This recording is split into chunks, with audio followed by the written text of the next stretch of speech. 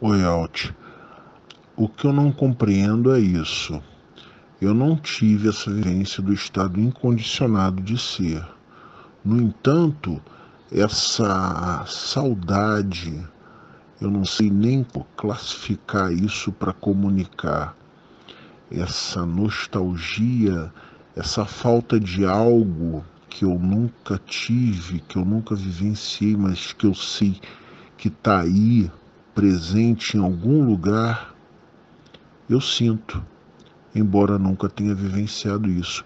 Isso é que é estranho, porque isso nasceu desde a minha mais tenra idade, quando eu me, me tomei por gente, me lembro o início da adolescência, eu me lembro disso já com uns 15, 16 anos, essa, essa coisa eclodindo né, de dentro de mim, um vazio, uma falta de sentido que eu, com 15, 16 anos, não fazia nem ideia do que era, mas já de alguma forma eu queria saber, eu tinha uma não sei, eu não sei nem como comunicar isso, mas eu só queria te dizer que, mesmo sem ter tido a vivência do estado incondicionado, eu sinto essa saudade e esse sentimento de que algo existe, de que falta algo.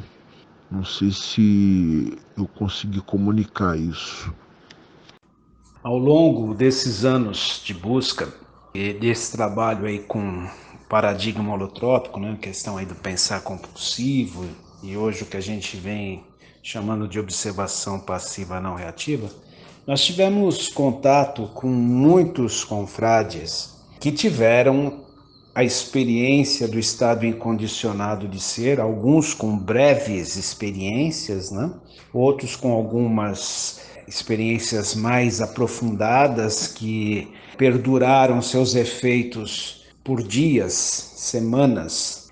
E muitos dos confrades que também não tiveram essa experiência, mas que todos eles relataram para nós.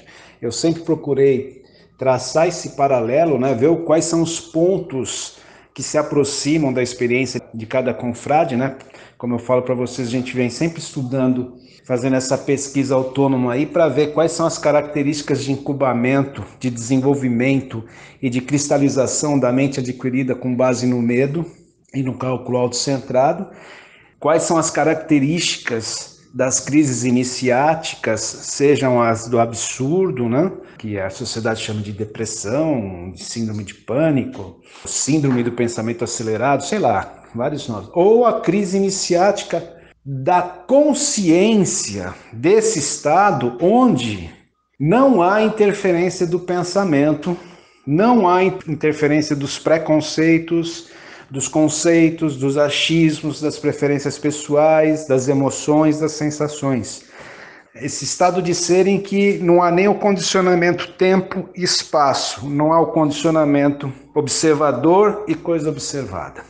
Então são muitos que chegaram relatando que não tiveram essa experiência do estado incondicionado, que só tiveram a crise iniciática e todos, sem exceção, tanto os que tiveram a experiência do absurdo e da graça, do absurdo e do estado incondicionado de ser, como os que não tiveram, todos eles trazem um ponto em comum: esse sentimento de inadequação, esse sentimento de não pertencimento, esse sentimento de uma saudade sem nome, de uma tristeza, de uma nostalgia que não tem como ser nomeada e que não tem como ser objetivada.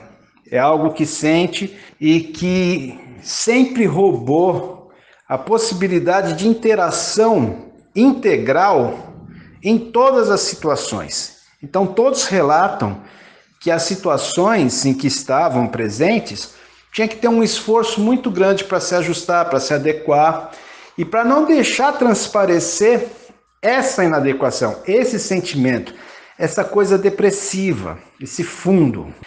E não raro, a grande maioria também, apresenta um certo padrão de comportamento específico que varia de indivíduo para indivíduo e que esse padrão obsessivo compulsivo foi o que ajudou a aliviar a carga emocional desse sentimento de nostalgia.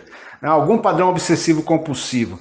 Os mais comuns que a gente ouve nos relatos é a droga, o sexo, o alcoolismo, o jogo, o comer compulsivo, vários muito precoces e por ser precoce acelerou o fundo de poço do uso desse mecanismo de fuga, que por sua vez levou a iniciar mais rapidamente o processo de busca.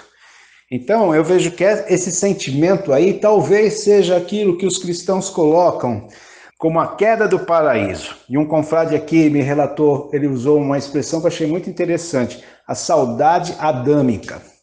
Talvez seria isso, a perca dessa consciência incondicionada que forçosamente vai sendo condicionada no ambiente em que ela é, vive essa encarnação. Vamos a esse termo. Então, gostou do áudio? Gostaria de ter a continuidade dos mesmos?